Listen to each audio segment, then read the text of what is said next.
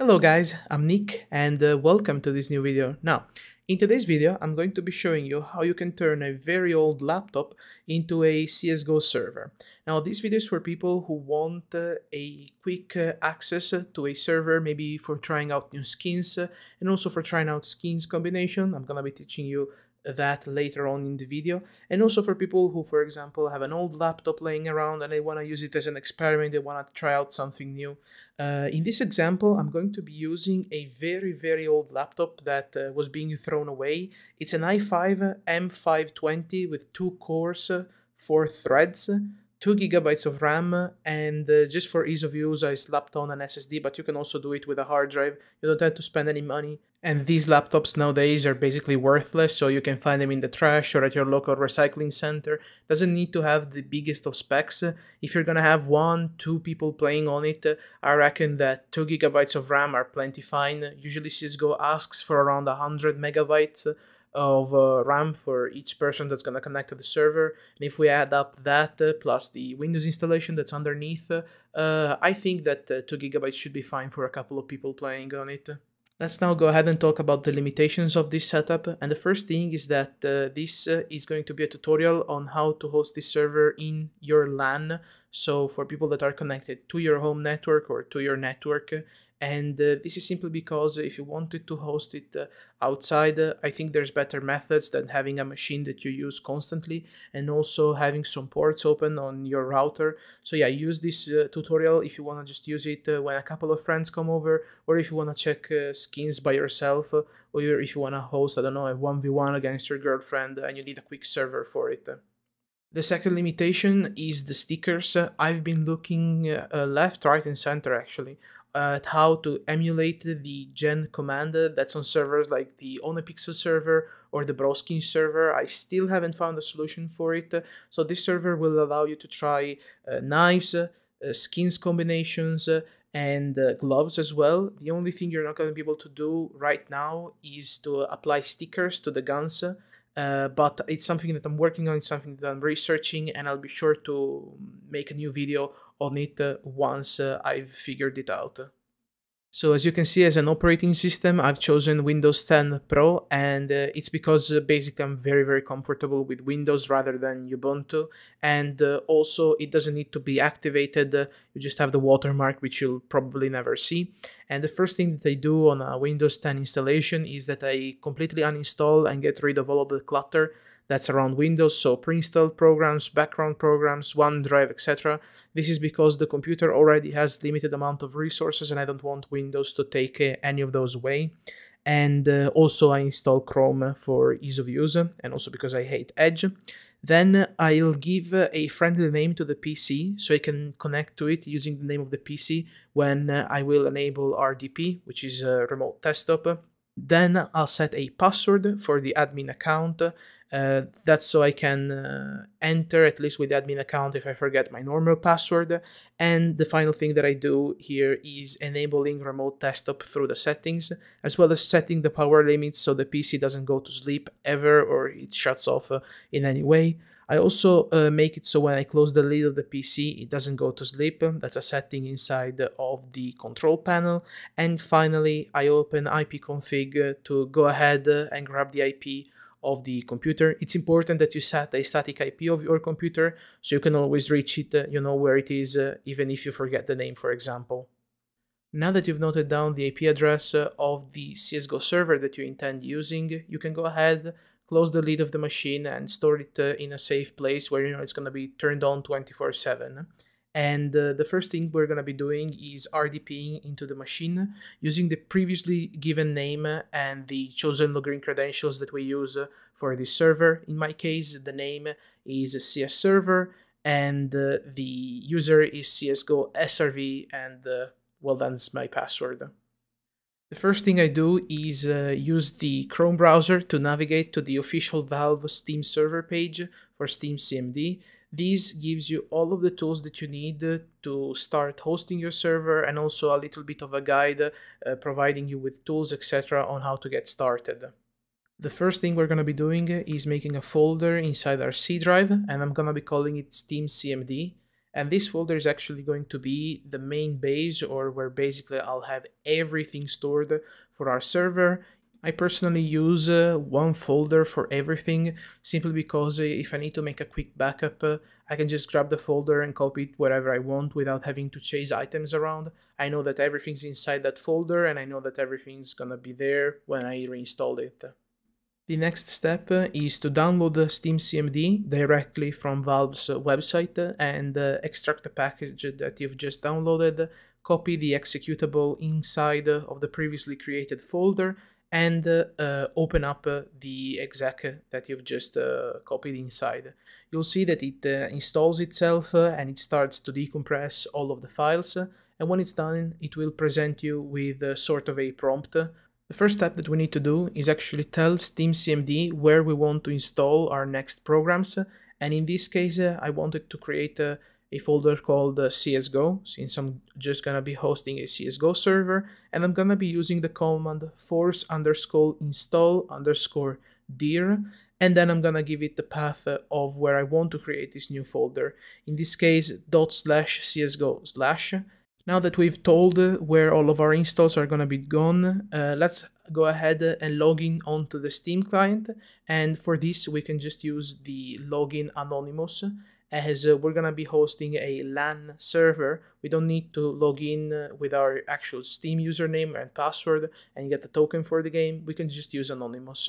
We're gonna then use uh, the app underscore update space 740 space validate command to tell Steam CMD that we'd want to download the CSGO dedicated server and also we want it to get validated. So once the files are downloaded, the system will go through a check of the files and see if they're all correctly downloaded.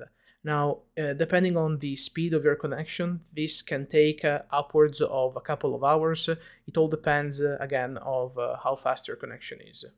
Now that the Steam dedicated server has been downloaded, I think that a good utility that you can uh, use and that helps you manage your actual server is uh, Steam CMD GUI. GUI stands for Graphical User Interface, and this helps a lot if you don't want to learn all of the commands to use on the Steam command line. It's a free utility, and uh, I'll leave the link down below in the description. You can just go to the website and then use the Dropbox provided download.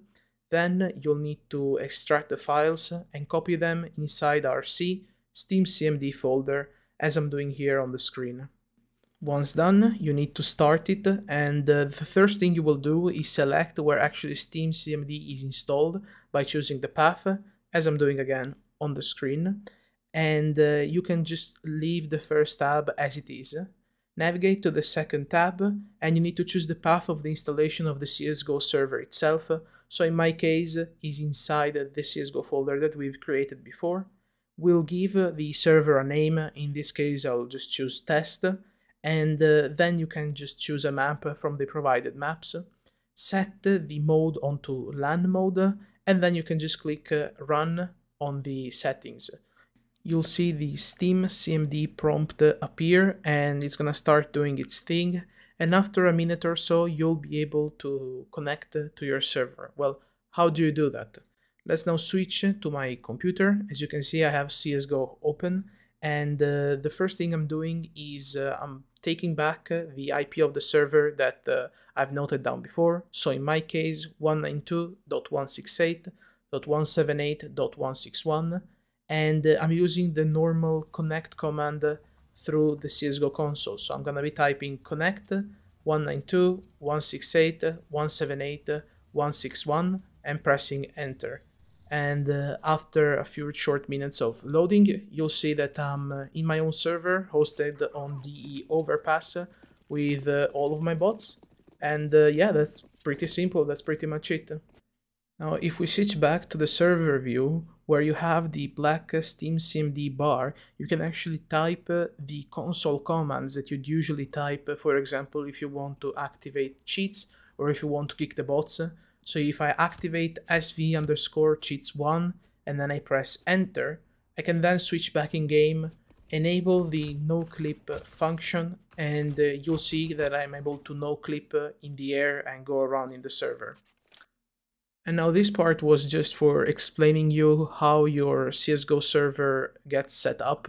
And um, in this next part, we're going to be taking a look at how to enable the exclamation mark WS, exclamation mark guns, and exclamation mark gloves commands for your private CSGO server. So completely in peace, you can go ahead, try your skins, try your gloves, and knives combinations. Okay, let's now get to the meats and bones of this tutorial. Now that we've created our own server, how do we start uh, playing around uh, with skins, float values, gloves, different knives, etc. that we don't own? Well, it's pretty simple. We're gonna need five tools. The first one is called source mod, then we have meta mod source, p tools and hooks, weapons, and gloves. All of these are super easy to find. I'll link each one down below in the video description Starting with SourceMod, you can see I'm on the website, I've downloaded it, and while it downloads, I passed onto the MetaMod source website. I went into their download page, and again clicked on the little Windows icon on the latest stable release. I will now go ahead and extract both folders, and actually MetaMod takes a little bit longer, so you just need to let it be and it's uh, gonna extract by itself. And now after the extraction is completed, I'll go inside my cdisk, Steam CMD, the CSGO folder that we've created to direct the download.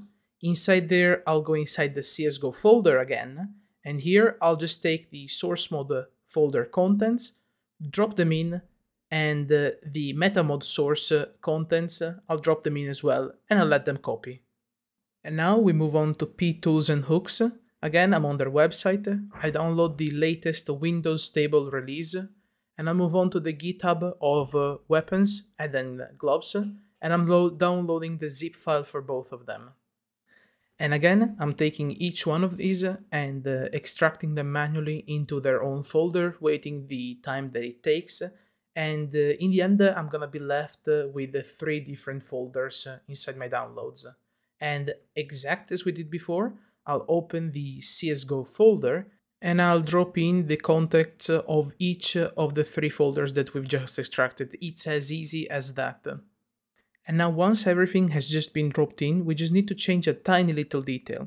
We need to go inside of the add-ons folder under SourceMod, configs, and then we'll find the file called core.cfg. We need to open it with a notepad, for example, and uh, at the end, we need to modify the value that it's called follow CSGO server guidelines that I'm highlighting here. We need to change the yes between the brackets into no. And the last thing we do is just uh, simply save the file. Now, all that's left to do is uh, we open Steam GUI again. We again enter the details as we did earlier, or you can just follow what I'm doing uh, follow the CSGO path, change the server name, select the map, change the server type to LAN, and uh, finally we can go ahead and click on run. And so guys, here we are in game and uh, you can see the first thing I'm gonna do is actually change my AK to a golden arabesque and I'm just typing, you know, the usual commands, WS, changing the skin, and uh, next up I want to change the gloves to some uh, Omega's Factory New. And uh, I also wanted to try a Karambit Lore with them. I just think the yellow on yellow combo is really really cool.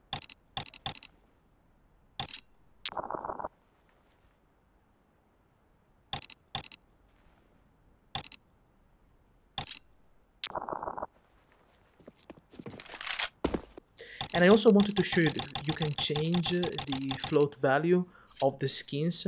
For example, this is a Super Battle Scarred M9 Crimson Web that as you can see has a single red stripe down the middle. I find this type of uh, M9 super cool, this and also the Ultraviolet. And uh, for the showcase, I also want to, you know, kind of demonstrate that you can change the pattern seed for the weapons. And uh, as you can see, I wanted to have this uh, butterfly knife as yellow as I could to try the mango combo, it's called, on the butterfly knife.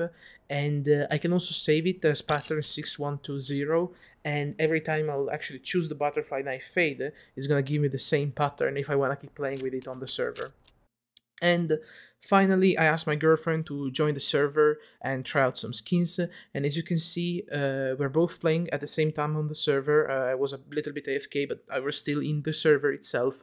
And um, at the bottom right, the performance of the server uh, showing that the CPU, yes, it's pinned at 100%, uh, but that's actually mostly because I was recording the screen in the server using OBS, so I was already stressing the CPU quite a lot, but you can also see that the 2 gigabytes of RAM is just quite enough. It was using about 1.5 gigabytes recording and also uh, while two people were on the server. So yeah, I, this totally demonstrates that you can host a CSGO server uh, literally on a piece of garbage computer and this is kind of what this uh, experiment slash tutorial was uh, aiming to so i wanted to thank you guys for sticking with me and we're almost at 110 subscribers if i'm not mistaken. I don't quite remember the number. Uh, so thank you so much for subscribing guys. I wish you all a very happy night. And remember guys good luck and have fun